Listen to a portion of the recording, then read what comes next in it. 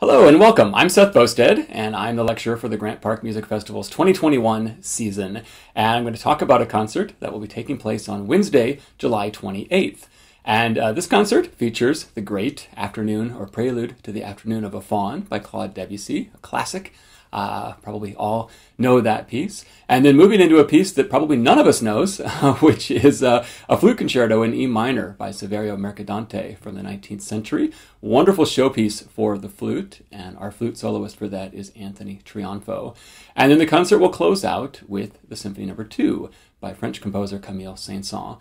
Uh, and that is not the symphony that most people perform by Saint Saëns. Usually it is the third symphony, the organ symphony. So this is a, a gem that is not performed very often, and it's pretty exciting that Maestro Kalmar has chosen to end the concert with this piece.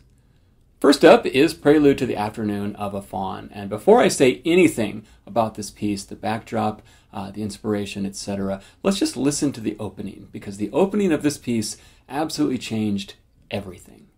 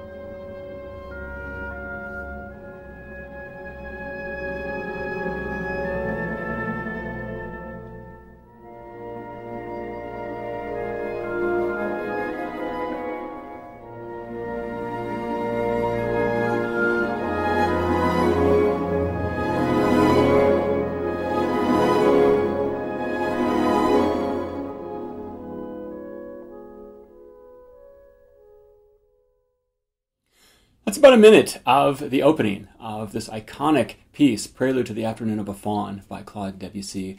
The year is 1894. There's a whole lot going on in music at this time. In Germany, we're at the end of the Romantic era. The pieces are getting larger and larger. Wagner has come along with this Gesamtkunstwerk, these huge, huge artistic creations. Uh, Mahler has come along, Bruckner has come along. They've expanded the symphony. They're doing all of these things, and the French are saying, "Eh, it's so pompous, it's so overblown. We're going to go a completely different direction. Think of Erik Satie, think of Maurice Ravel writing these smaller pieces, these miniatures. And composers like Debussy were inspired by the uh, Impressionistic movement, of course, in painting, but they were also inspired by the Symbolist movement in poetry. Uh, in this case, Stefan Mallarmé wrote the poem Prelude to the Afternoon of a Faun that inspired this music by Debussy. And we say that Debussy is an Impressionistic uh, composer, but I think he's just as much a symbolist composer. That movement didn't really go very far, which is a shame. Uh, it was a fascinating movement. They were interested in abstraction. They did not want to provide a concrete narrative. They instead wanted to leave the reader with a general impression of something. So, in the case of Prelude to the Afternoon of a Faun, Mallarmé's idea here is to depict this half goat, half human creature in these earthly pursuits, chasing after nymphs, eating sumptuous repasts, drinking wine, taking long naps, this kind of thing. And so, what Debussy does in the music is it's, it's uh, these little episodes in this day, this languid opening, the kind of sensuality that's present in the music almost immediately was completely different than anything that had come before in classical music and very much intentionally. Debussy's harmonic language is different as well. He's using these open ninths, he's using fourths and fifths, Uh, some of the chords don't have a third in them at all. You don't need to know music to know that that was very, very unusual, and it gives this the, this open-ended kind of sound. It doesn't feel like it's going anywhere. It's just there. it's this beautiful place to to exist musically. Let's jump about six minutes in and hear another episode from Prelude to the Afternoon of a Faun by Claude Debussy.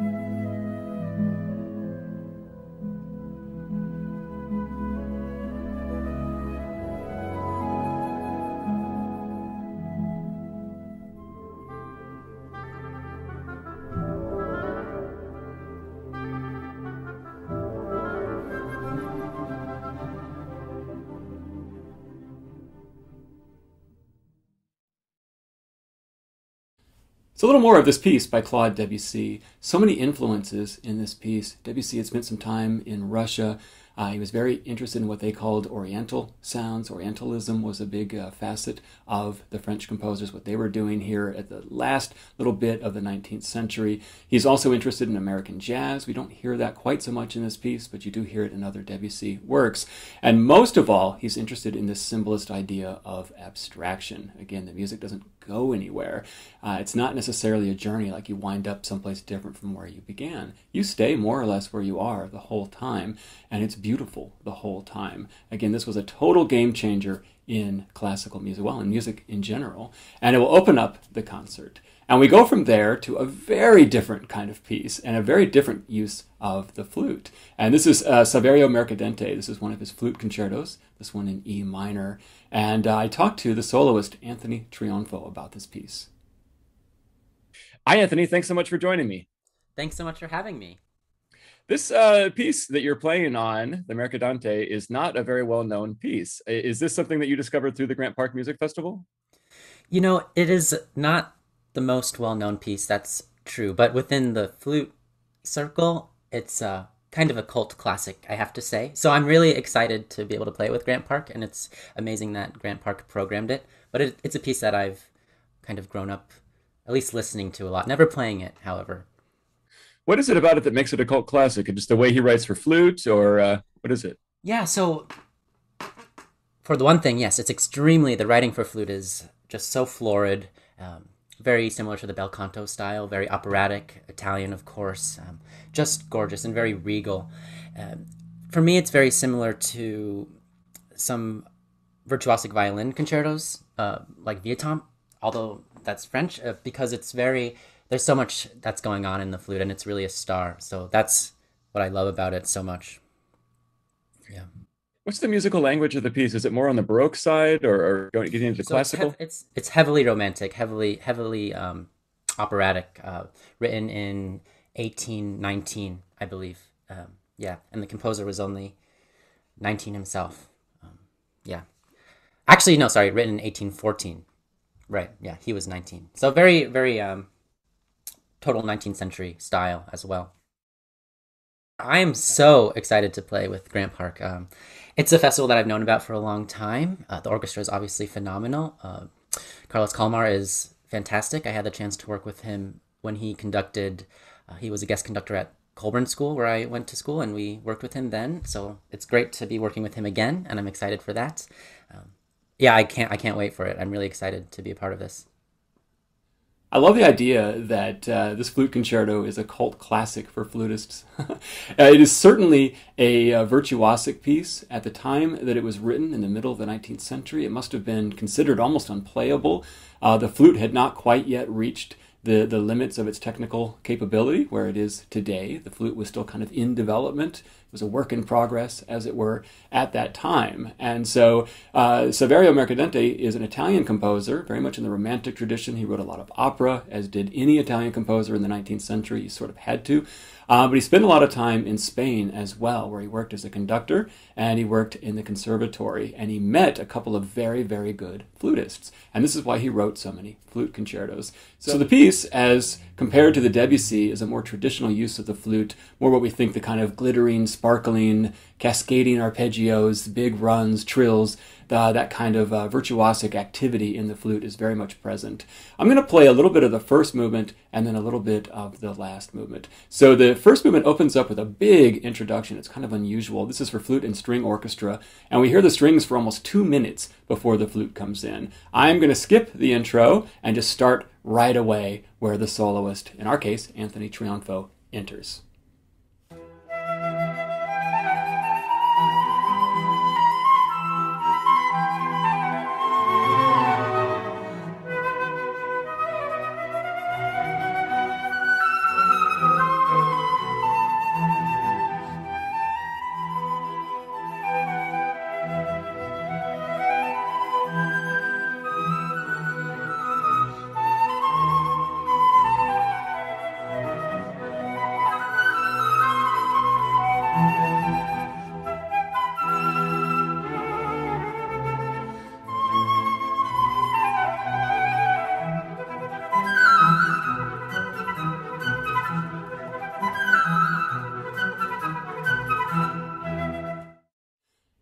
The second movement is a very short movement and it's quite wonderful. Uh, again, opens up with a, an introduction in the strings.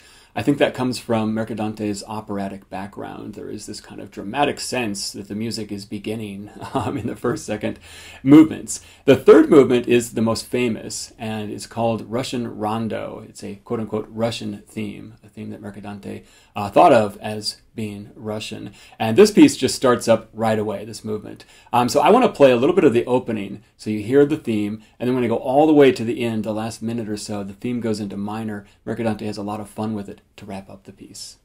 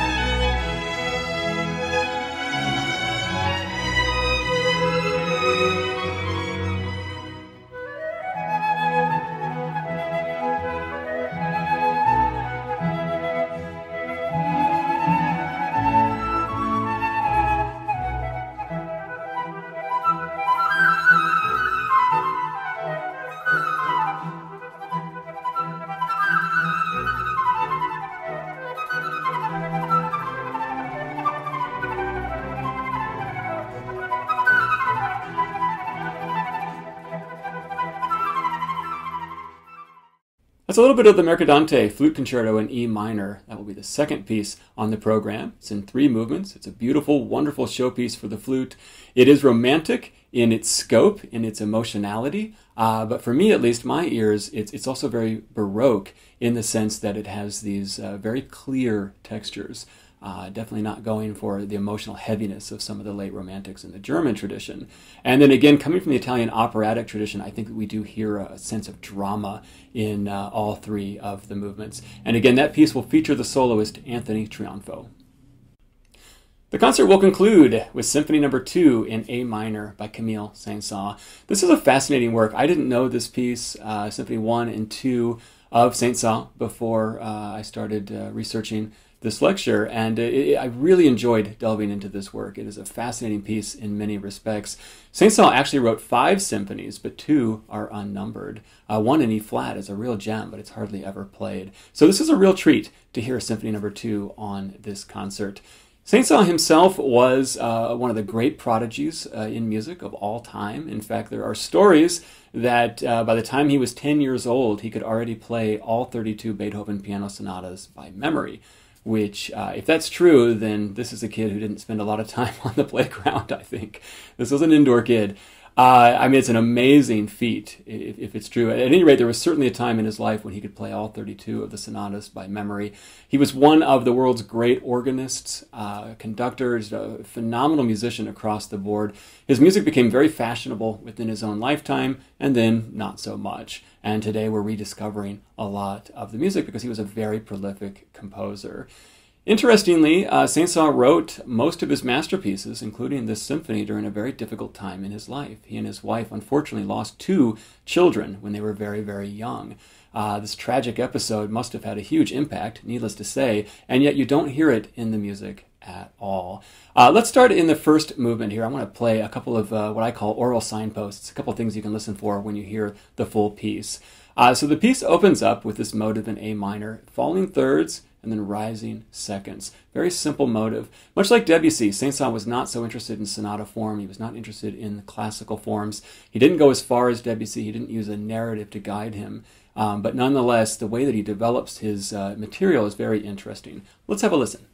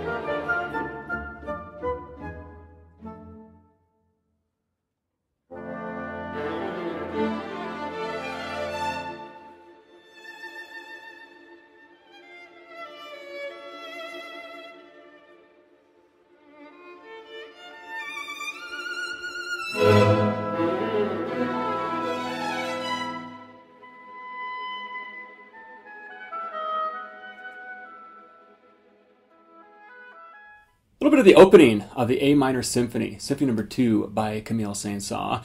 Uh, wonderful what he does with that theme. These stacked thirds that go down and then rising by second. Very, very simple, based on the, the key of the piece in A minor. The second movement is a beautiful little gem in E major, which is the five chord of A minor. So a pretty pretty normal place to go in many respects. It's a very short movement, um, so I'm going to let you enjoy that. And the third movement also is fairly short. It is a scherzo. We're back in the stormy A minor. Uh, things are a bit more active. I want to jump all the way to the last movement and play several minutes of it because, for me at least, this is one of the places where Saint Saëns kind of uh, loses his polish, so to speak, and, and lets us see a little bit of his inner life. Uh, perhaps a little bit of turmoil even. So I'm going to play the opening. Listen to the theme. It's this very fast, wonderful theme and then he starts to vary it throughout the movement. I'm going to jump from there, about five and a half minutes in, there's this beautiful moment where uh, he, he, takes that theme, and as I said, it becomes more emotional now. Uh, Saint Saëns doesn't normally show this this side of him, so this is a really interesting glimpse.